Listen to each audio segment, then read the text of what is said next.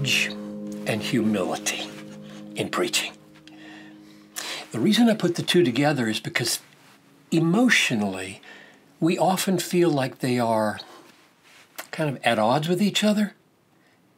Like if you're a really humble, meek person, you won't be courageously forceful on issues that are important in the world where you might get flack.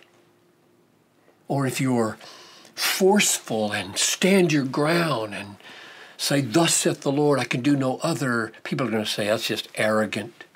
So I'm putting the two together here humility and courage. I want to encourage you to be courageous.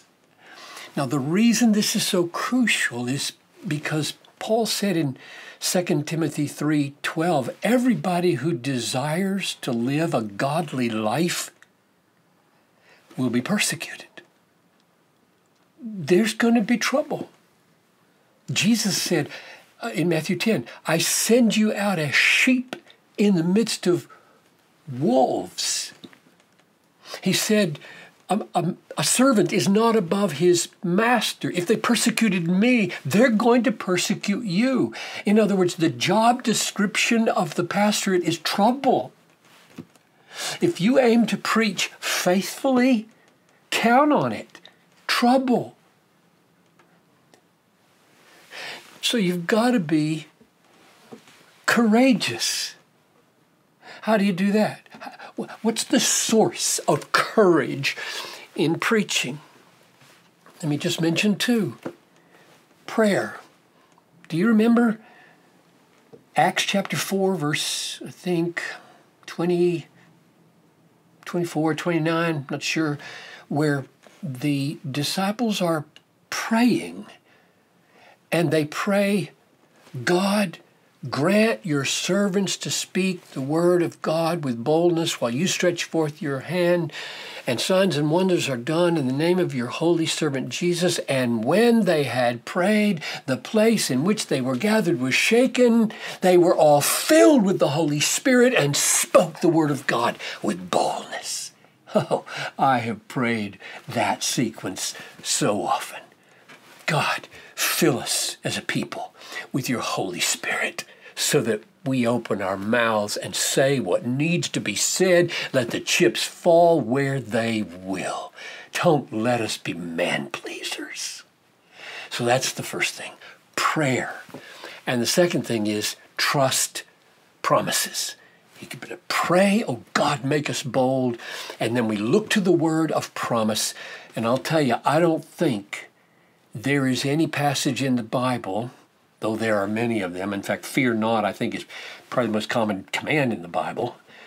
But I don't think there's anything more courage producing, fear removing, like Romans 8, um, starting at, say, 31. What shall we say to these things?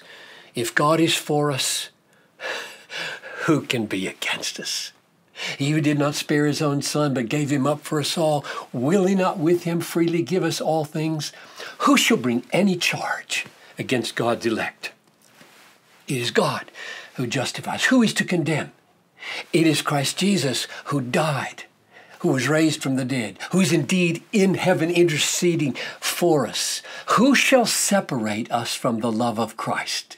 Shall tribulation or persecution or famine or nakedness or peril or sword. Now, if you stopped right there, somebody from the prosperity camp might say, Oh, of course they won't separate you from the love of Jesus. He won't let them happen.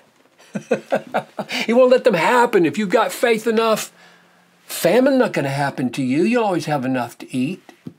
Sword not going to happen to you. Nakedness is not going to happen to you. You'll always have clothing. Jesus promised that you would. You know what the next verse says? Verse 36 We are being killed all day long. We are counted as sheep to be slaughtered. So Paul pulls the plug on that misinterpretation by quoting Psalm 44. These things aren't just threats, they're happening. They're going to happen to him. He's going to have his head chopped off by Nero. Probably that's how he died. And then he says, No.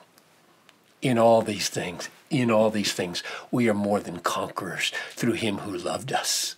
For I am sure that neither death, nor life, nor angels, nor principalities, nor things present, nor things to come, nor powers, nor height, nor depth, nor anything else in all creation will separate us from the love of God in Christ Jesus. Oh, brothers, know the great eight. know, live in the great eight of Romans because it will take away your fear. It will make you courageous. It will make you like Esther. If I perish, I perish. I'm doing what I got to do, saying what I got to say for my people. It'll make you like Paul in Acts 20 24. I don't count my life of any value or as precious to myself, if only I might finish my course and complete the ministry that God gave me to declare the grace of God. Oh, may God make us courageous. Now, here's the link with humility. Have you ever read Isaiah 51:12 and stopped and scratched your head? What?